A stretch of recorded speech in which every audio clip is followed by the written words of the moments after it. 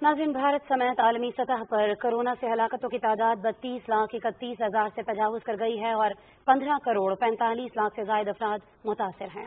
भारत में एक रोज में मजीद तीन लाख पचपन हज़ार से जायद केसेज रिपोर्ट हुए हैं और वबा ने तीन हज़ार चार सौ अड़तीस अफराद को लुकमा अचल बना दिया है। तफसील जानते हैं यासिर हुसैन से।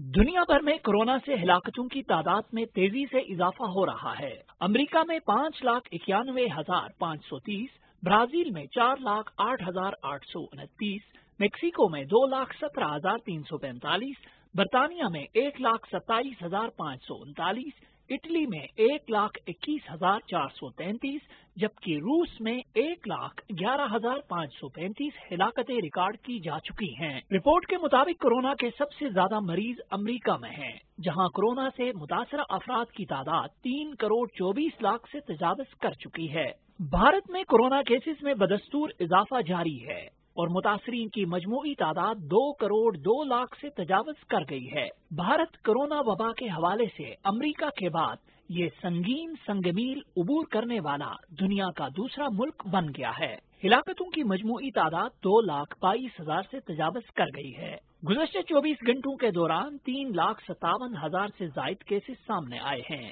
मार्च के अख्ताम से अब तक भारत में 80 लाख नए केसेस सामने आए हैं, जहाँ कोरोना की नई तब्दील शुदा किस्म फैल रही है। बड़े सियासी और मजहबी इज्तमात पर बर वक्त पाबंदी न लगाने की वजह से हुकूमत को तनकीद का सामना है और भारतीय अपोजिशन रहनुमा राहुल गांधी ने मुल्क भर में लॉकडाउन का मुतालबा किया है। दुनिया भर में कोरोना वबा से बचाव के लिए एस पीज पर सख्ती से अमल दरामद की ज़रूरत है। Yasir Hussain, Pakistan television news, Islamabad.